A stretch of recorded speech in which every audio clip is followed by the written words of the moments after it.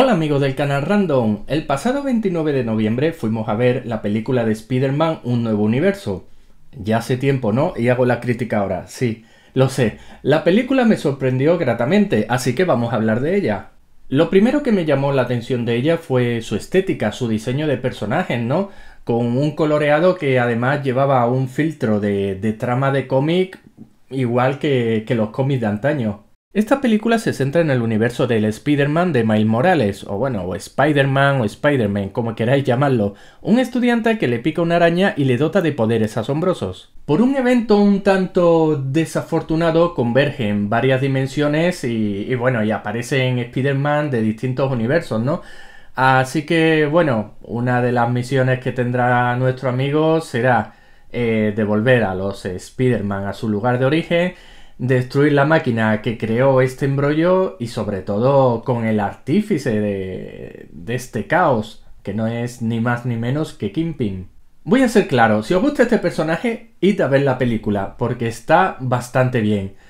Pero está también como para tomarla como la mejor película de Spider-Man. Hmm. A ver, esto irá en función de los gustos personales de, cada uno. Eh, ¿Para mí es la mejor? ¿Para mí la mejor? No. Porque para mí la mejor es la segunda de la trilogía de, de San Raimi. Que bueno, es una película que ya tiene muchos años, la he visto muchas veces y le tengo un cariño especial, con lo que me resulta imposible moverla del número uno. Quién sabe si dentro de unos años le encuentre un sustituto, pero de momento no.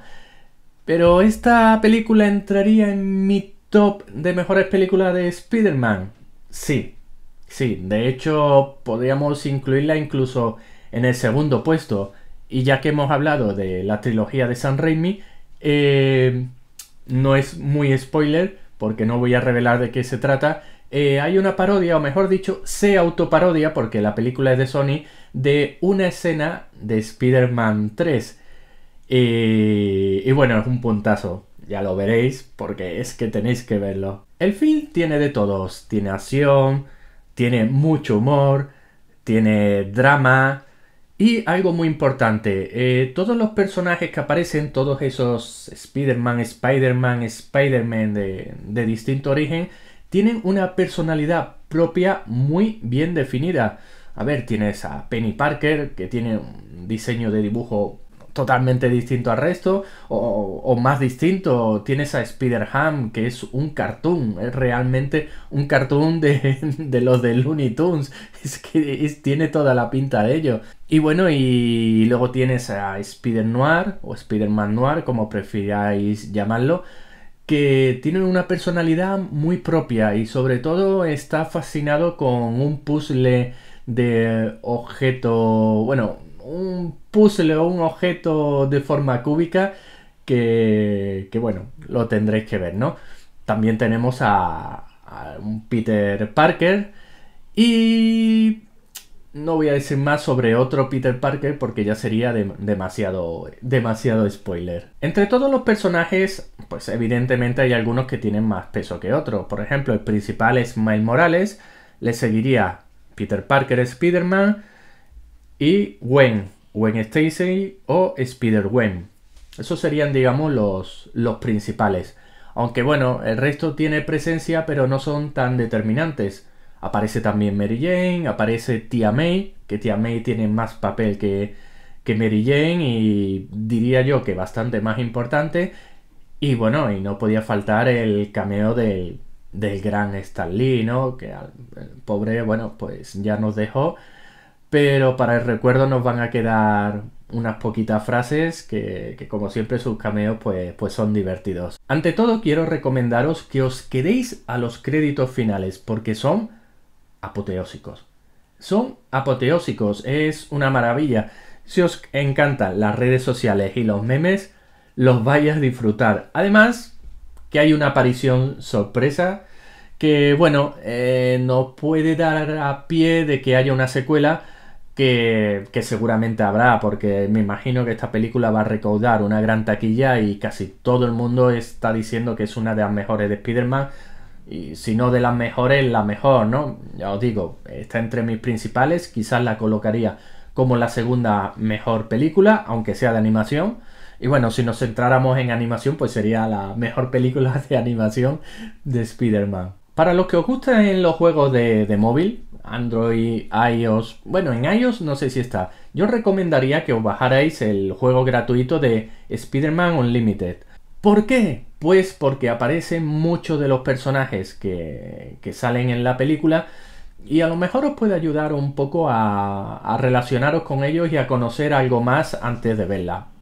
Ahora le toca el turno a los villanos. Vamos a dejar a los héroes un poco al lado y vamos a hablar de los villanos. El villano principal, como no puede ser de otra forma en el canal random, es un calvo malvado. Y el calvo malvado por excelencia en Marvel podríamos decir que es Kingpin. Hay otros calvos, pero es Kingpin.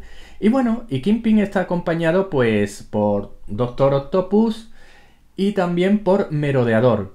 También tienes otros villanos que aparecen, pero que no tienen un papel principal y otros están un poco de pegote, como Lápida. Lápida es un villano secundario, terciario, de, bajo nivel, ¿no?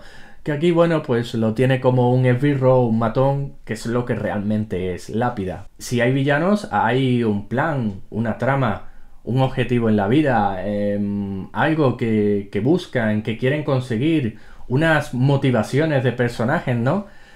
En realidad están claras, ¿no? Eh, Kingpin perdió a su mujer, perdió a su hijo y quiere usar esta máquina para traerse una Vanessa y a su hijo de otra dimensión, em, universo y tal, para que estén con él. Em, bueno, a ver, en la película conoceréis el por qué murieron y quizás, bueno, pues entendáis que no es buena idea por, porque es posible que no voy a decir más porque voy a meter un spoiler muy gordo. Mi conclusión. Mi conclusión es que estamos ante una película muy buena, bastante buena, tendrá secuela, está claro.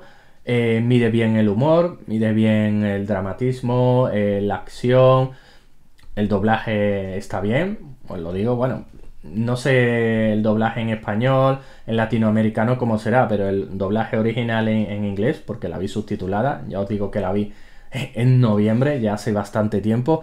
De hecho, es que me moría de ganas por poder hablar de esta película, pero claro, no voy a hacer una crítica en noviembre, ¿no? Porque es absurdo, voy a crear un hype y si se me escapa un spoiler, vamos, me lo vais a recordar durante ese mes.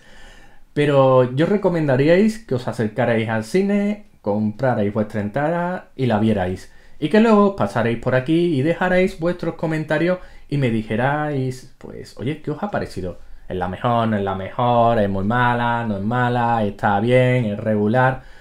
Lo que os haya parecido, dejádnoslo en los comentarios y lo vamos comentando. Así que recordad, si no os habéis suscrito al canal Random, suscribíos ahora. Tenemos nuestras redes sociales, Instagram, Twitter. Y nos vemos en un próximo vídeo. Hasta luego.